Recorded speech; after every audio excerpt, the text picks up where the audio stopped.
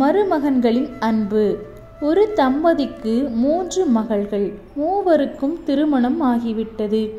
மருமகன்களின் அன்பை பரிசோதிக்க மாமியார் விரும்பினார். அதற்காக ஒரு நாடகத்தை நடத்த எண்ணி முதலாவது மகள் மற்றும் மருமகனுடன் ஒரு ஏரியில் படகு சவாரி செய்தார். தான் திட்டமிட்டபடி ஏரியில் விழுந்து உயிருக்கு போராடுவதாய் நடித்தார். இதை அறியா மருமகன் உடனே தண்ணீரில் குதித்து மாமியாரை காப்பாற்றினார். அடுத்த நாள் காலை படுக்கையை விட்டு வெளியே வந்த மருமகன் வாசலில் ஒரு புத்தம் புதிய மாருதி டிசைர் கார் இருப்பதை கண்டார். அருகில் சென்று பார்த்தார்.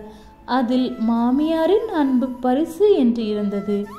இதே போலவே இரண்டாவது மருமகனையும் சோதித்தார்.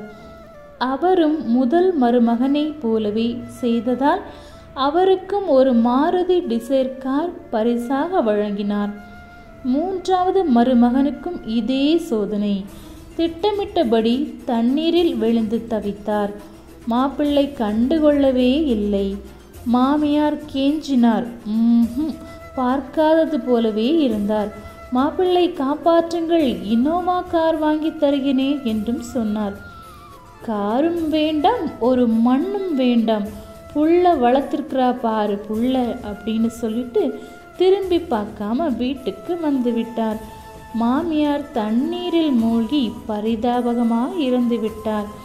அடுத்த நாள் காலை படுக்கையை விட்டு வெளியே வந்து பார்த்தால் ஒரு புத்தம் புதிய பிஎம்டபிள்யூ கார் வாசலில் நின்றது. அருகில் சென்று பார்த்தால் மாமனாரின் அன்பு பரிசு என்ற வாசகம் காரில் தொங்கியது.